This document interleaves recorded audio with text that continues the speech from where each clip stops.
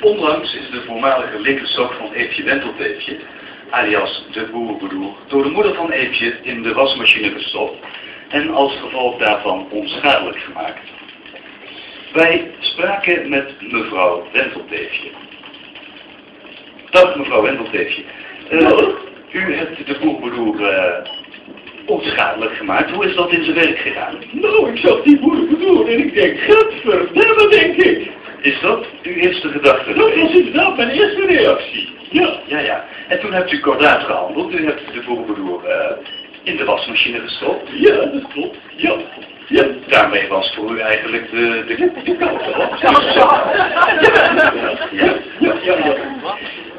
Als ik u vragen mag, welk wasmiddel heeft u daarvoor gebruikt? Daarvoor gebruik ik altijd flut alles vergen. Ah, Ja. Nu bij alles rijden, voor velen.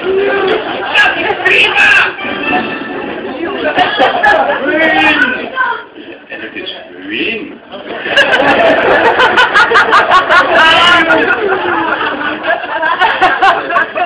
Hiermee heeft Eefje en Toteefje haar linkerstok weer terug. De poppenkast diva zegt blij te zijn dat ze de sok weer de haren mag noemen.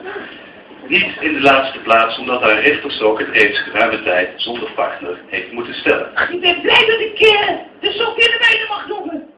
Niet in de... Dan komt het allemaal nog. Zeker in orde. Echt waar hoor.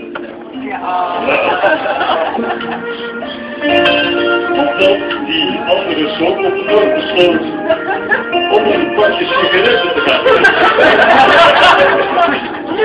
het verschilt nog een keer.